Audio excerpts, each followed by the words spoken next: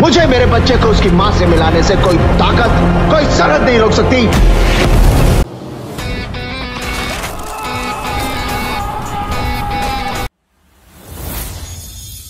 Film Gadar two का climax हुआ expose Pakistan force से होगी इस किरदार की भिड़त। सनी देओल और अमीषा पटेल की फ़िल्म गदर 22 साल पहले साल 2001 में रिलीज़ हुई थी, और तब सकीना और तारा सिंह की लव स्टोरी ने सभी का दिल जीत लिया था।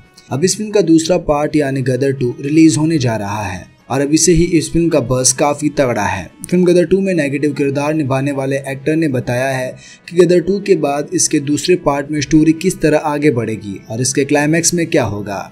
आइए इस फ़िल्म की स्टोरी लाइन के बारे में जानते हैं और ये भी जानते हैं कि इस फ़िल्म के क्लाइमैक्स सीन में क्या क्या होगा। पहले तो आपको ये बता दें कि गदर टू जो 11 अगस्त को रिलीज़ होने वाली है। और इससे जुड़ी जानकारी फ़िल्म मेकर्स ने एक पोस्टर के ज़रिए दी थी। बता दें कि गदर टू में नेगेटिव किरदार निभाने वाले एक्टर मनीष वाधवा ने एक मीडिया पोर्टल से खास बातचीत में बताया है कि इस फ़िल्म की कहानी क्या होगी।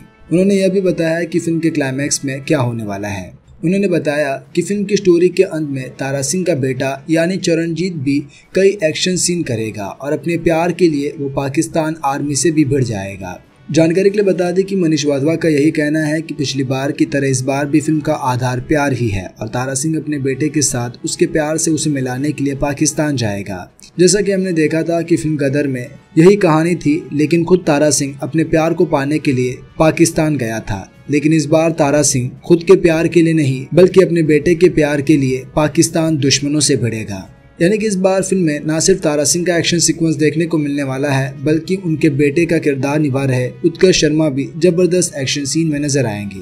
फ़िल्म के एक्शन सीन विकी कौशल के पिता और एक्शन डायरेक्टर श्याम कौशल ने डायरेक्ट किए हैं। और फ़िल्म में पाकिस्तान के सीन्स की शूटिंग के लिए लखनऊ जैसी लोकेशन को यूज़ किया गया है। इस फ़िल्म में सनी देओल अमीशा पटेल और उत्कुश शर्मा लीड रोल में नज़र आएँगे। वही इस फ़िल्म को डायरेक्ट अनिल शर्मा कर रहे हैं। तो आप कितने एक्साइटेड हो? फ़िल्म गदर टू को लेकर हमें कमेंट कर ज़रूर बताएँ। वीडियो अगर पसंद आई हो तो लाइक करें और हमारे चैनल फिल्मी नेचर को सब्सक्राइब करें।